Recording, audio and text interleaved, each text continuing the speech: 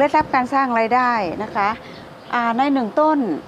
ดูนะคะว่าเขามีกี่ใบเขามีกี่ก้านเขามีกี่กิ่ง แล้วเราสามารถขยายพันธุ์ออกได้อ่าไม่รู้จบนะคะตัวนี้อ่านะคะก็คืออาเป็นเคล็ดลับการสร้างรายได้อ่าท่านที่ปลูกเก่งแล้วนะคะ ก็อันนี้ไม่ห่วงนะคะ ส่วนมือใหม่ที่จะอ่าเริ่มนะคะต้องหัดขยายพันธุ์นะคะ ขยายพันธุ์ตั้งแต่วันนี้ ต้นไม้ไม่เหมือนอย่างอื่นนะคะ ต้นไม้ต้องรอเวลา บางชนิด 5 เดือน 6 เดือนนะคะจึงจะเอาออกจำหน่ายได้ ถ้าเรารับอย่างเดียวนะคะ รับต้นไม้มาต้นเล็กๆ ก็ 35-40 แล้วนะคะ ซึ่งเราจะมาบวกกำไร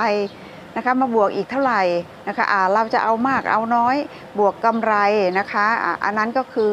อถ้าเรารับมา 40 เราก็ต้องมาจำหน่าย มากกว่า 40 ก็คือ 60